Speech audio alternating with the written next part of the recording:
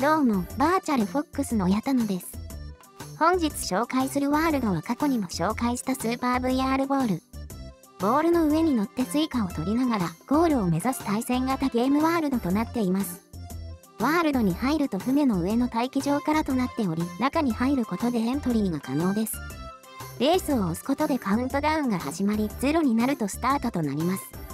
始まったらゴールにめがけて進んでいきましょう。このワールドは各ステージごとに異なるコースをボールに乗りながら進んでいくことになります。道中にはスコアとなるスイカが配置されています。ゴールを目指しながら取っていきましょう。誰よりも早くゴールにたどり着けば、たくさんのスイカをもらうことができます。もちろんゴールが遅くなれば遅くなるほど到達した際のスイカの量は減ります。コースアウトするとスタート地点からとなるので、かなりのロスになります。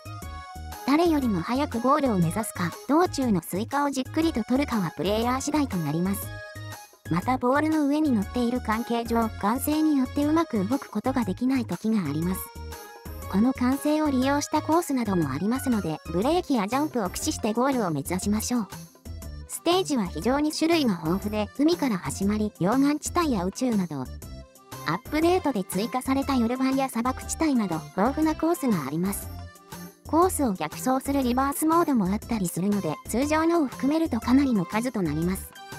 そんな感じでボールに乗りながらゴールを目指していくクエスト対応ワールドです。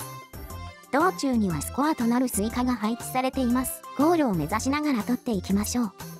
フレンドとワイワイやってもいいし、ソロで黙々とスイカを集める遊び方もできたりします。プレイ時間は逆走を含めると全コースで2時間以上ある大ボリュームとなっています。そんな感じでボールに乗ってゴールを目指すワールド、皆さんはぜひ遊んでみてくださいね。